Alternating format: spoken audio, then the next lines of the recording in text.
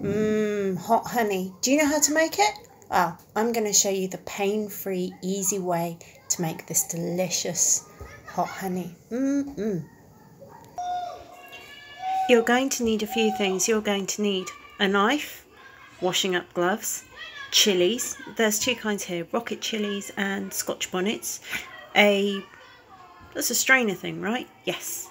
A funnel, several clean jars, a slow cooker. All will become clear.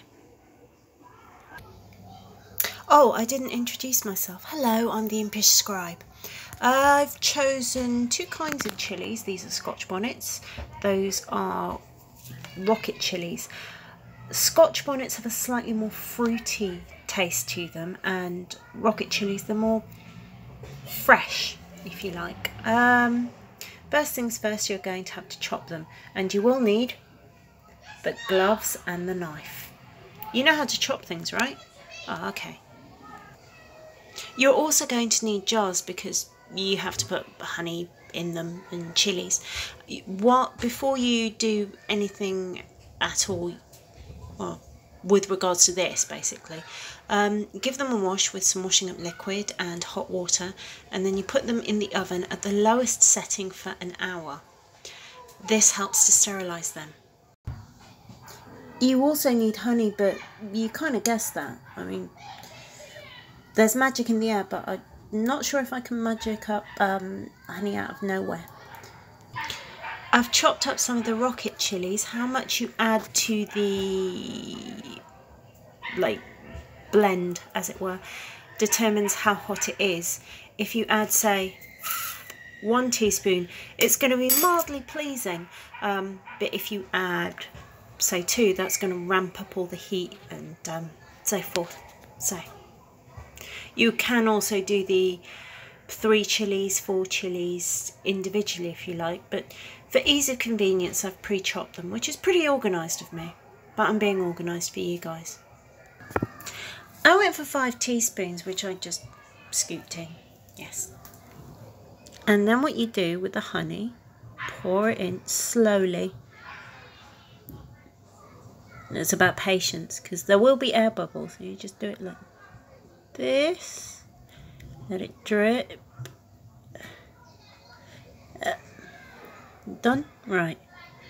And then any air bubbles kind of like will form as opposed to just you're almost done and then there's a massive air bubble type burp of honey.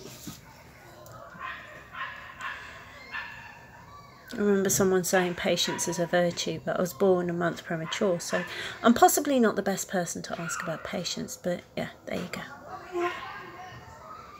You just keep doing it until it's done. Like so much in life. And just keep doing, just taking little breaks.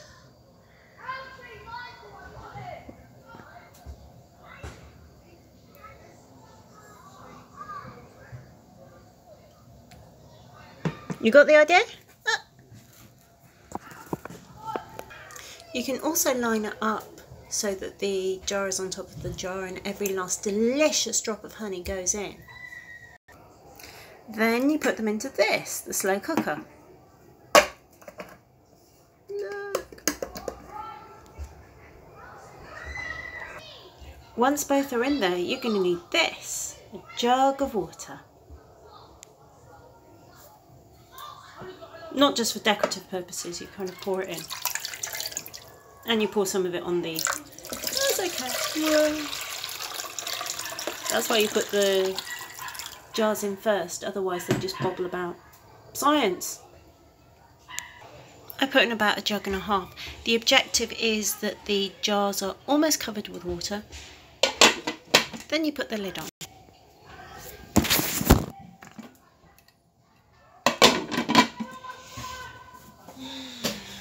This one's from Morphy Richards. I wasn't sponsored by them. It's just I am. As opposed to 20. If you want to send me one Morphy Richards, I'm fully down with this.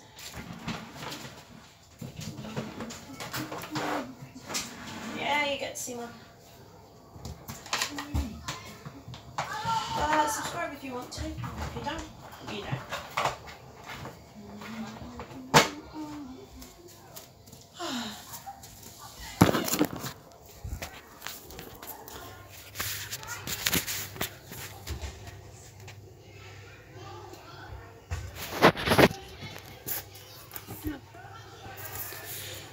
うん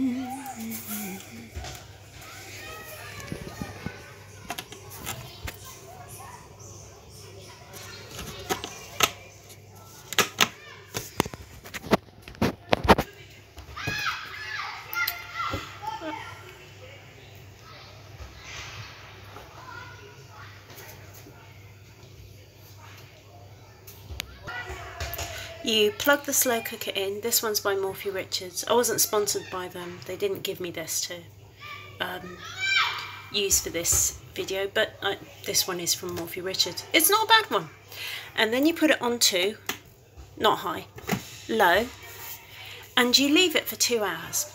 Um, there are other recipes for chili honey or hot honey which say that you can do it in a saucepan, but if you've ever tried the combination of cooking chili honeys and yeah without a lid.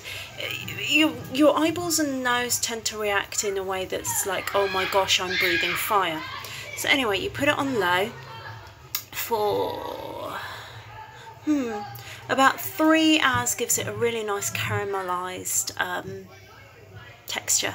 Um, four if you're feeling a bit racy. Two is fine. So yeah the slow cooker does all the hard work for you. And time is a wonderful thing. Look, I did this one last night for you. Uh, this one has the scotch bonnet, uh, now follows the last bit. Now it's time for the funnel and the, is it a tea strainer? Yeah, it is. But basically like a baby sieve. If you've got a cocktail one, that's fine. But yeah, you slot it in like that. Then you need the jar. Then you put the jar like this and you put that like that. With the honey that's been chilified, you pour it in really slowly.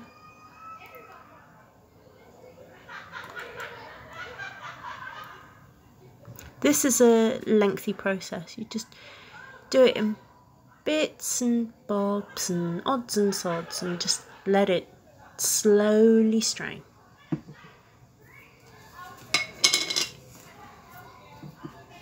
Repeat the process until it's all done.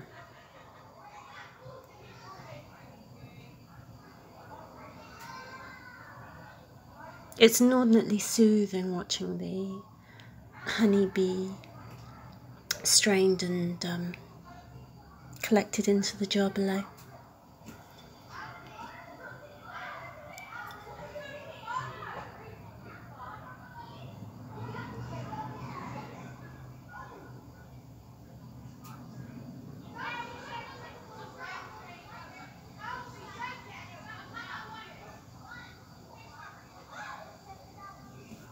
Like the previous process, you just do it in little steps. There you go. Apologies for the brief glimpse of the radiator thingamy.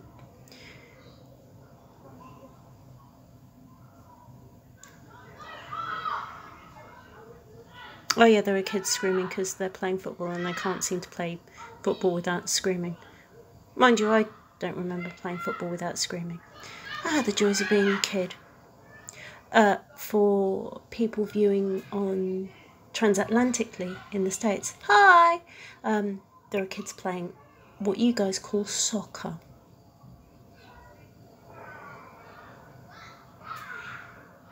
Yeah, British people really pride themselves on soccer, and yet every World Cup, the same thing happens. Hopes are dashed, tears are wept. Maybe next time, right? You gotta try. That's all we can ever do. Ah, yeah, that's done. Welcome back. And with a teaspoon, like this one, just scoop up the chili honeys. You can put them into a jar like this. It's just really handy if you, as an ingredient you didn't know you had, but proves itself really versatile. You can add it to soups, curries, stir fries, um, stock. Okay, now it's stuck to the spoon. It's going to take a while to drip.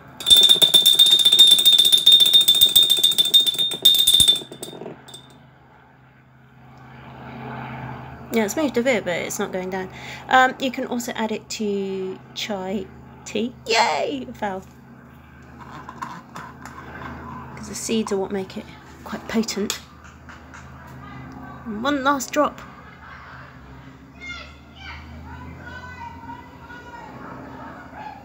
Um, yeah, so you have a nice little stash of a like secret niche ingredient. Put the lid on.